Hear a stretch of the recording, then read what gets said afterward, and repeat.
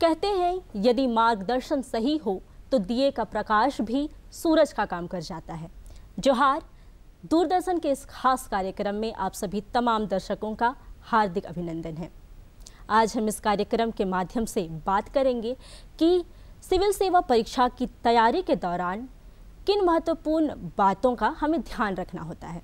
हमारे साथ स्टूडियो में मौजूद है डॉक्टर अनिल मिश्रा, जिनका पिछले तीन दशकों से जिनके मार्गदर्शन में हज़ारों अभ्यर्थियों ने सिविल सेवा परीक्षाओं में चाहे वह जेपीएससी की परीक्षा हो या यूपीएससी की परीक्षा उत्तीर्ण हुए हैं और विभिन्न प्रशासनिक सेवाओं में कार्यरत हैं। डॉक्टर अनिल मिश्रा हम आपका अपने स्टूडियो में हार्दिक अभिनंदन करते हैं। बहुत बहुत धन्यवाद अनुप्रिया जी। अनिल जी हम सबसे पहले तो विशेषकर झारखंड लोक सेवा के बारे में आपसे पूछना चाहेंगे कि उन परीक्षाओं को पास करके कोई भी अभ्यर्थी किन सेवाओं में कार्यरत होते हैं? जो जेपीएससी का एग्ज़ाम होता है इसमें न्यूनतम योग्यता चाहिए ग्रेजुएशन किसी भी स्ट्रीम में चाहे वो आर्ट्स में हो चाहे कॉमर्स में हो चाहे इंजीनियरिंग में हो चाहे मेडिकल फ़ील्ड में हो। अब इसमें जो सेलेक्ट होते हैं लोग वो किन पदों पर जाते हैं? तो इनमें जो सेलेक्ट होने वाले लोग हैं उनको प्रशासनिक सेवा में उनका चयन होता है राज्य प्रशासनिक सेवा। राज्य का पुलिस सेवा जिसमें उसको, उनको डीएसपी का पोस्ट मिलता है। राज्य में शिक्षा सेवा, राज्य कारा सेवा, राज्य निबंधन सेवा जिसमें सब रजिस्ट्रार बनते हैं। तो इनफैक्ट जो जेपीएससी एग्ज़ाम कंडक्ट करती है सिविल सर्विस के लिए, ये राज्य का सबसे प्रतिष्ठित सेवा के लिए एग्ज़ाम का संचालन होता है जेपीएससी के द्वारा।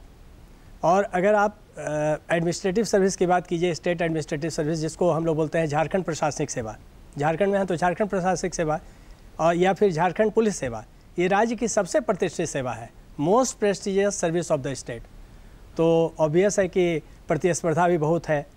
अब प्रतिस्पर्धा बहुत है तो सबसे बड़ी जो बात है सेलेक्ट सिलेक्शन के लिए कोई भी अगर एस्पिरेंट इसके लिए तैयारी कर रहा है तो स्ट्रेटजी उसका बहुत ही कॉन्क्रीट होना चाहिए, बहुत परफेक्ट होना चाहिए। जैसा कि आपने हमें बताया कि यह परीक्षा झारखंड की सबसे सर्वोच्च और कठिन परीक्षाओं में से एक है तो हम उसके सिलेबस के बारे में थोड़ा जानना चाहेंगे। देखिए, जेपीएससी का, झारखंड लोक सेवा आयोग का जो एग्ज़ाम होता है, ये थ्री स्टेज एग्ज़ाम है। तीन चरणों में संपन्न होता है। जो फ़र्स्ट स्टेज है, उसको लोग बोलते हैं प्रारंभिक परीक्षा, अंग्रेज़ी में प्रिलिमिनरी एग्जामिनेशन या प्रिलिमिनरी टेस्ट इसमें जो क्वेश्चंस आते हैं, इसमें दो पेपर होते हैं, जेपीएससी पीटी एग्जामिनेशन में।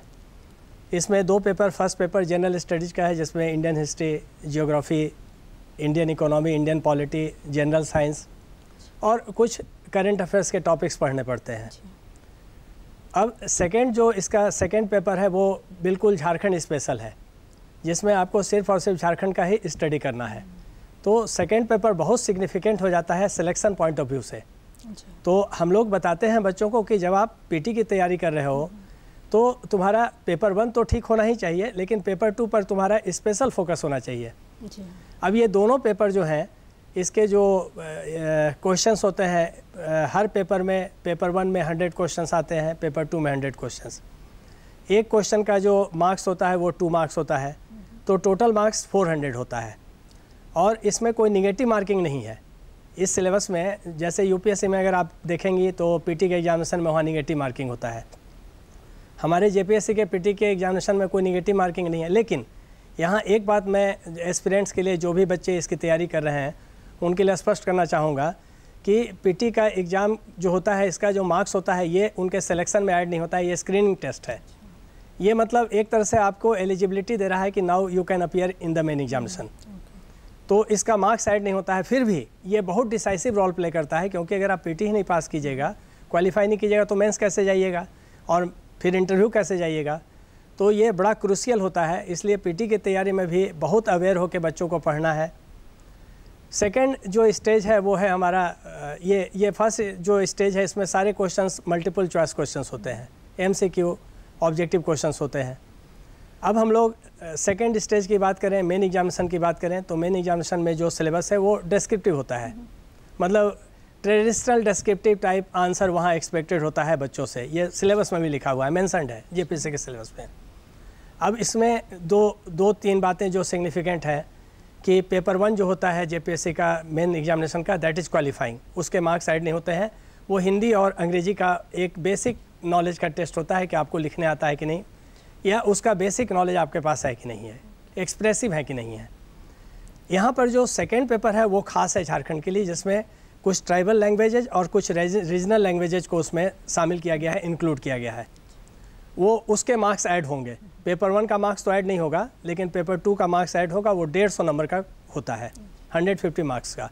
और वो झारखंड के बच्चों के हितों को ध्यान में रख करके उसको इंट्रोड्यूस किया गया है so that more and more students of Jharkhand could be selected in the in this examination यहीं से बच्चे आए। तो उसमें खोटा है नागपुरी है संथाली है मुंडा है कुड़ुक है ऐसे रीजनल सब्जेक्ट्स भी हैं और ट्राइबल सब्जेक्ट्स भी हैं। तो इनके मार्क्स ऐड होते हैं या डिस्क्रिप्टिव होते हैं। इसके बाद हम लोग थर्ड पेपर में आते हैं तो थर्ड पेपर में आपका 200 मार्क्स का पेपर है उसमें हिस्ट्री और जोग्राफ़ी 100 मार्क्स के पेपर होते हैं।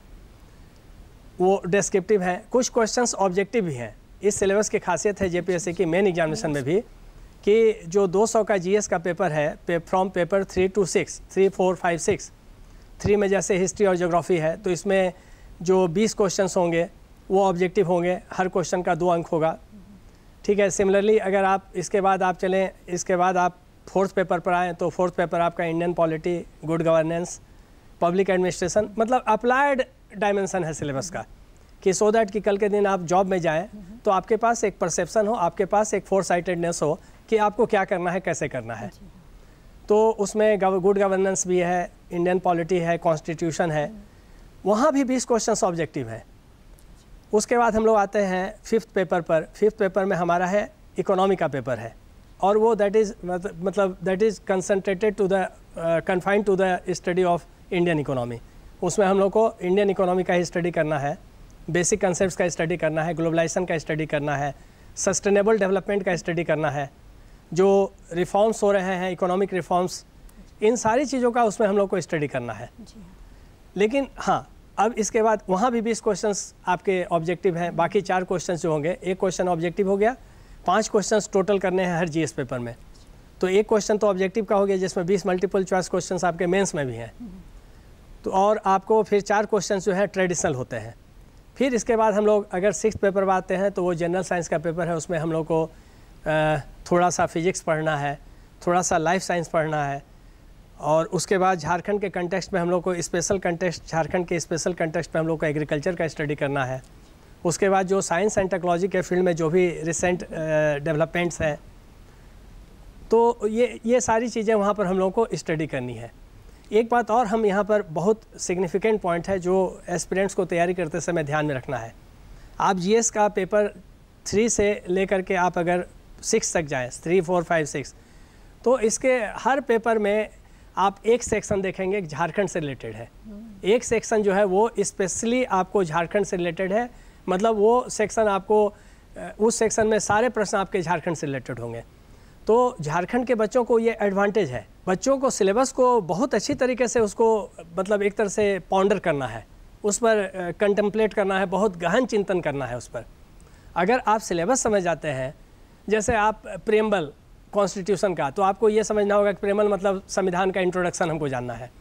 तो जैसे आप इस चीज़ को समझने लगते हैं, जैसे फंडामेंटल राइट्स तो फंडामेंटल राइट्स क्या है? अगर इसका आप डेफिनेशन जान जाते हैं तो आधा समस्या तो आपका वहीं पर दूर हो जाता है। जैसे सस्टेनेबल डेवलपमेंट इसका अगर डेफिनेशन जान रहे हैं तो आप उसमें आगे बहुत कुछ कर सकते हैं। तो सबसे पहले फ़र्स्ट ऑफ़ ऑल कोई भी एस्पिरेंट जो हुआ preparing for the civil service examination whether it is JPSC और यूपीएससी उनका फोकस होना चाहिए बेसिक्स पर कंसेप्चुअल क्लैरिटी पर। इसीलिए हम लोग बोलते हैं कि फ़र्स्ट ऑफ़ ऑल जो स्टूडेंट्स हैं you go through N books क्योंकि एन बुक्स बेसिक्स और फंडामेंटल्स को बहुत क्लियर कर देता है।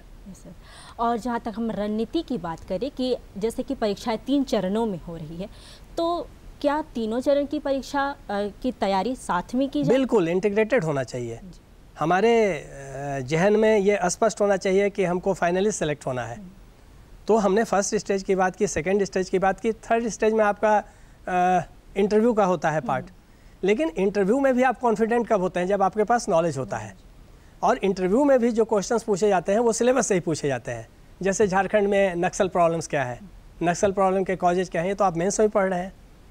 तो इस तरह के जो प्रश्न झारखंड में इंडस्ट्रियल डेवलपमेंट क्यों नहीं हो पा रहा है? इंडस्ट्रीज़ का इतना मिनरल रिसोर्सेज रिच होने के बाद भी 40 परसेंट टोटल इंडिया का जो मिनरल डिपॉजिट है उसका अकेला झारखंड में है।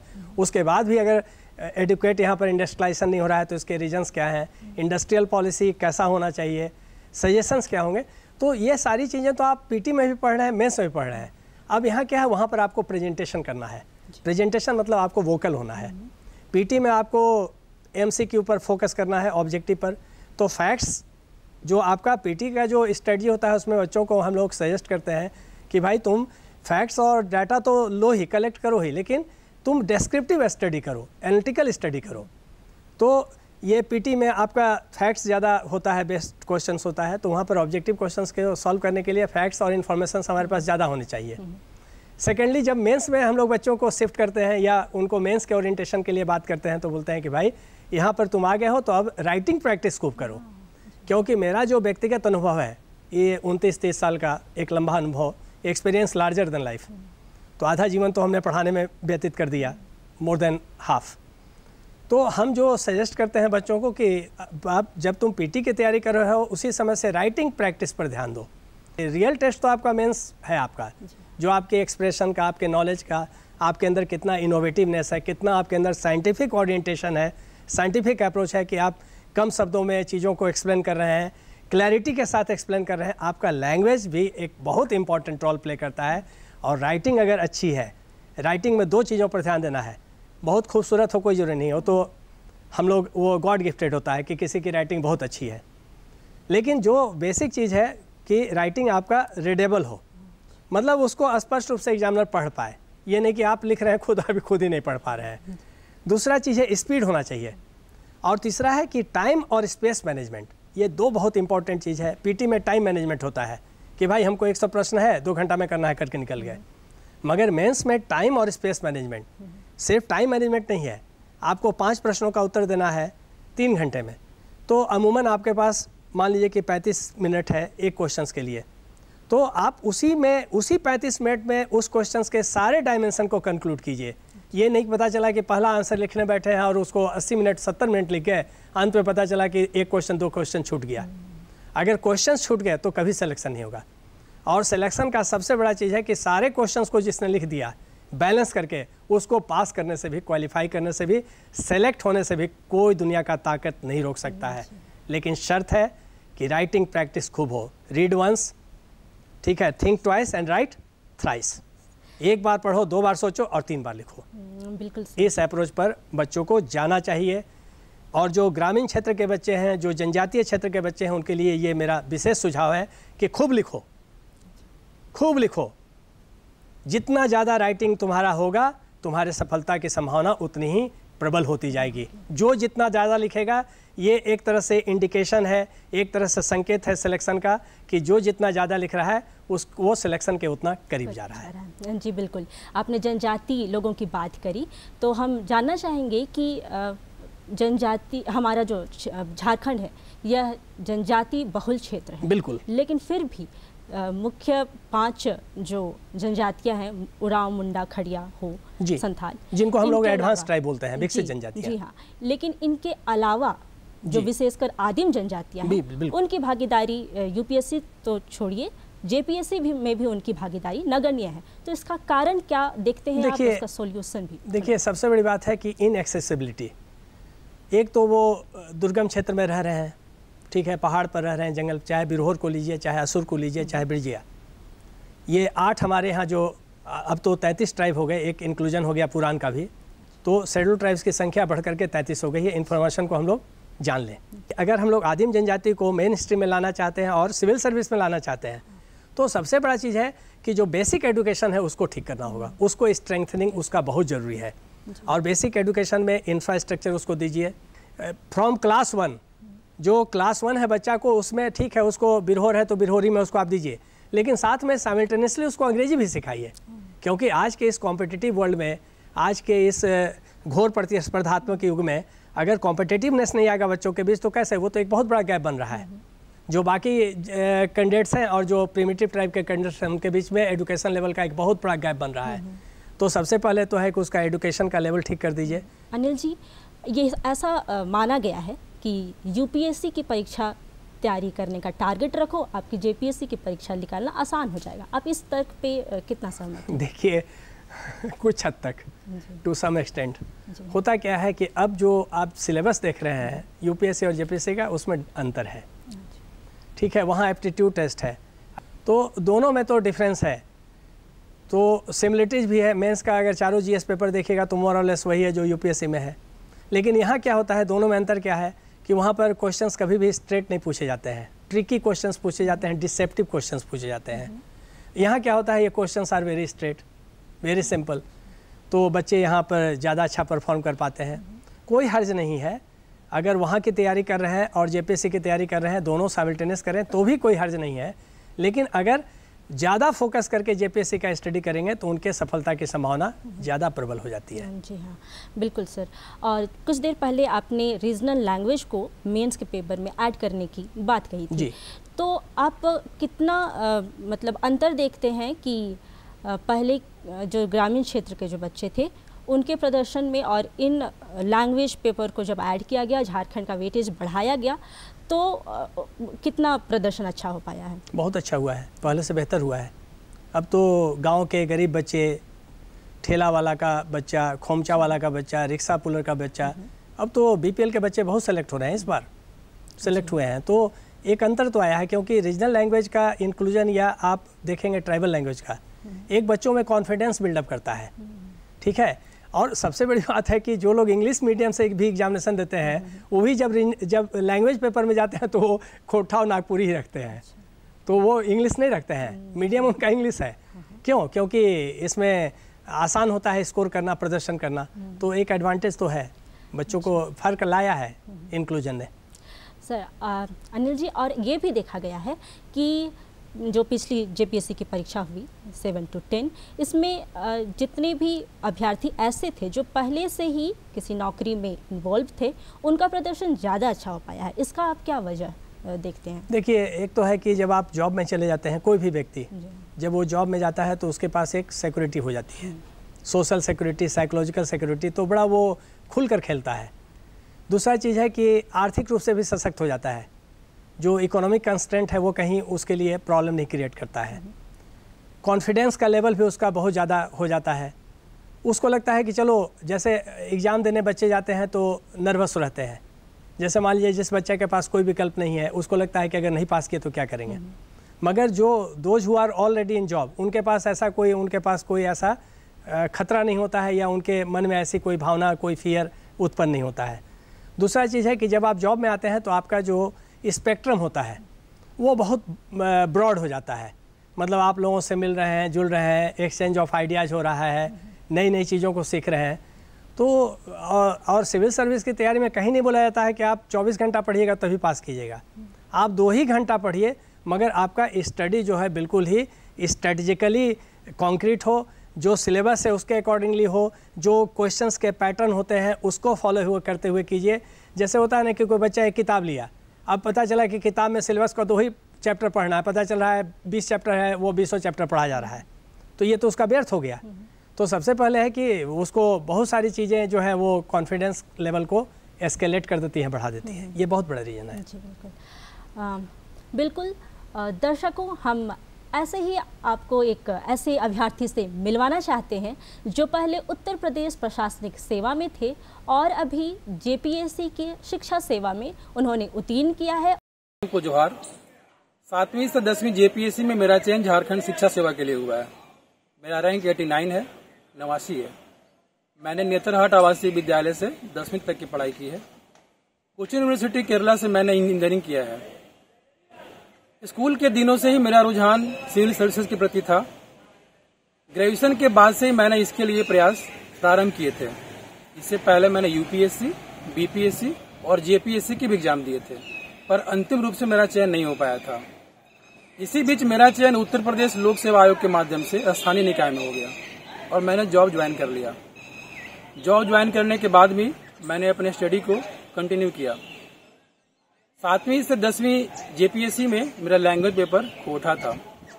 इसमें थोड़ा मुझे ज़्यादा समय देना पड़ा। मेरी यहाँ तक की राह आसान नहीं रही है। मैंने इसके लिए अनुशासित दिनचर्या सेल्फ मोटिवेशन सकारात्मक दृष्टिकोण को अपनाया। मेरी दिनचर्या सुबह पाँच बजे से प्रारंभ होती थी। ऑफ़िस जाने के पहले लगभग चार, लगभग तीन चार घंटे मैं समय निकाल लिया करता था। और ऑफ़िस जाने के बाद भी लगभग तीन चार घंटे समय मैं निकाल लिया करता था। मैंने अपने नोट्स को रिकॉर्ड किए थे और ऑफ़िस के खाली समय में सुनकर रिवाइज रिवाइज किया करता था। जॉब के साथ सिविल सर्विसेज़ की तैयारी को लेकर अमूमन लोगों के मन में समय न मिलने का डर होता है, वो मेरे मन में भी था। पर जॉब ज्वाइन करने के बाद मैंने इसके सकारात्मक पहलू भी देखे। मैंने पब्लिक डीलिंग डिसीज़न मेकिंग को सीखा। मैंने पब्लिक सर्विस की अवधारणा को महसूस किया। मैंने किताबी ज्ञान को रियलाइज़ होते देखा। और इंटरव्यू में तो मुझे अपने जॉब के अनुभव का भरपूर फ़ायदा मिला। मेरा तैयारी कर रहे साथियों से कहना है कि वो एक सकारात्मक दृष्टिकोण को अपनाएँ सेल्फ मोटिवेटेड रहें अनुशासित दिनचर्या को अपनाएँ सफलता अवश्य मिलेगी। धन्यवाद। अनिल जी झारखंड जैसे प्रदेशों में तैयारी के लिए टेक्नोलॉजी का क्या रोल है और ये कितना महत्वपूर्ण भूमिका निभाता है? देखिए विगत वर्षों में हम लोग जब स्टार्ट किए थे तो ब्लैक बोर्ड पर पढ़ाते थे चौक के साथ। ठीक है वाइट चौक फिर कलर्ड चौक आया, फिर हम लोग वाइट बोर्ड पर गए मार्कर के साथ, अब चीज़ें बदल चुकी हैं। और बहुत सारे इन्फॉर्मेशन सिविल सर्विस से रिलेटेड बहुत सारे आपके जो वीडियोज़ हैं वो अपलोडेड हैं यूट्यूब पर या बाकी जगहों पर। तो डिजिटल प्लेटफॉर्म का बड़ा इंपॉर्टेंट रोल हो गया है। अगर कोई बच्चा गाँव में भी बैठा हुआ है और वो चाहे कि किसी इन्फॉर्मेशन को ले ले तो यूट्यूब पर जाएगा तो उसको इन्फॉर्मेशन मिल जाएगा। गूगल पर सर्च करेगा तो इन्फॉर्मेशन मिलेगा। तो हम लोग भी तो यूज़ करते हैं। कोई आर्टिकल किसी चीज़ के बारे में जानना है कहीं नहीं मिल रहा है तो हम लोग जाते हैं नेट पर। लेकिन जो कंस्टेंट है इस ऑनलाइन टीचिंग में ठीक है जो गाँव के बच्चे हैं वो कैसे कर पाएँगे? नेट का प्रॉब्लम है नेटवर्क नहीं है बहुत सारी असुविधाएँ भी हैं उनको। और दूसरा जो चीज़ है दूसरा जो सबसे इम्पोर्टेंट चीज़ है कि ऑनलाइन प्लेटफॉर्म को जब हम लोग यूज़ करते हैं तो बहुत सारे ऐसे वीडियोज़ हैं जो फेक वीडियोज़ होते हैं, गलत होते हैं। उसमें इन्फॉर्मेशंस गलत होता है, तथ्य गलत होते हैं। तो बच्चों को जब भी तैयारी करें तो ऐसी चीज़ों से बचना है। क्योंकि यूट्यूब पर आप देखेंगे यूट्यूबर्स हम लोग आजकल यूज़ करते हैं। जिनको कुछ नहीं आता है, वो भी आकर उस पर काम कर रहे हैं। तो न तो वो स्टैंडर्ड मिल पा रहा है, न उस पैरामीटर पर काम हो पा रहा है। तो इन सब चीज़ों को ऑनलाइन टीचिंग बहुत अच्छा है। डिजिटल टीचिंग बहुत अच्छा है लेकिन इसके लिए इंफ्रास्ट्रक्चर गाँव में है या नहीं है इसको देखना होगा। सारे सारे जगहों पर तो हम लोग नहीं उम्मीद कर सकते हैं झारखंड में अभी भी दिक्कत है समस्या है रिमोट एरिया में ट्राइबल एरिया में। तो ये इसके लिमिटेशंस भी हैं और उसके लाभ भी हैं। और अंत में सर हम आपसे जानना चाहेंगे कि जितने भी अभ्यर्थी आने वाली पर, आने वाली परीक्षाओं में शामिल होना चाह रहे हैं या उसकी तैयारी कर रहे हैं वे किस तरह से अपने आप को तैयार करें? देखिए, सबसे बड़ी बात है कि अगर सिविल सेवा की तैयारी आप कर रहे हैं तो ये लॉन्ग टर्म प्रोसेस है। मे भी कि आपका पहली बार में सिलेक्शन नहीं हो तो घबराना नहीं है। ठीक है? पेशेंस रखना है परसिवरेंस रखना है, एक कमिटमेंट के साथ जाना है कि नहीं आई विल मेक इट जब तक ये कमिटमेंट नहीं होगा, ठीक है, असफलता मिलेगी, मगर उससे हमको डेविएट नहीं होना है डाइवर्ट नहीं होना है। दूसरी चीज़ है कि जो प्रॉपर गाइडलाइंस में जाएँ गाइडलाइंस बहुत इंपॉर्टेंट रोल प्ले करता है। जैसे सपोज़ कीजिए कि मेरा तीस साल का अनुभव है। तो बहुत सारी चीज़ें हमने सीखी हैं। अगर आप हमसे बात कर रही हैं तो हम बहुत चीज़ें आपको बहुत कम समय में बता पाएँगे। तो बहुत इंपॉर्टेंट चीज़ है कि आप गाइडलाइंस आपका प्रॉपर हो। जैसा हमने कहा राइटिंग प्रैक्टिस पर ध्यान देना है। सिलेबस को फोकस करना है। और सबसे इंपॉर्टेंट चीज़ है कंसेप्चुअल क्लैरिटी बिल्कुल रटना नहीं है। Bookish knowledge is not required in civil service examination जैसे आप बुकिस लिखेंगे पता चलेगा कि आपको मार्क्स नहीं आए। कितना भी बढ़िया लिख दीजिए। लेकिन जब आप अपने शब्दों में लिखेंगे अपने विचार में अपनी तरह से उसको एक्सप्रेस करेंगे चीज़ों को तो you will get you will fetch very good marks और यू विल बी सिलेक्टेड तो सबसे इंपॉर्टेंट चीज़ है कि सिलेबस पर फोकस करो। ठीक है राइटिंग प्रैक्टिस पर खूब ध्यान दो। और जो टेक्स्ट बुक है उसको पढ़ो। गाइड को मत पढ़ो। ऑनलाइन ऑनलाइन पर बहुत सारे जो चीज़ें आती हैं, बहुत ही गलत होती हैं, उससे बचो। ऑथेंटिसिटी को चेक करके तब ऑनलाइन पर चीज़ों को देखो। तो ये सारी चीज़ों को यूज़ करो मिसयूज मत करो। जैसा कि हमने जाना कि प्रशासनिक सेवा में आने के लिए मार्गदर्शन का होना बहुत ज़रूरी है। हम आशा करते हैं कि चर्चा का यह कार्यक्रम आपको पसंद आया होगा। अनिल सर के साथ बातचीत में आपने बहुत सारी ऐसी चीज़ों को जाना होगा जो आपकी तैयारी में महत्वपूर्ण भूमिका निभाएगी। आज के लिए बस इतना ही। जोहार।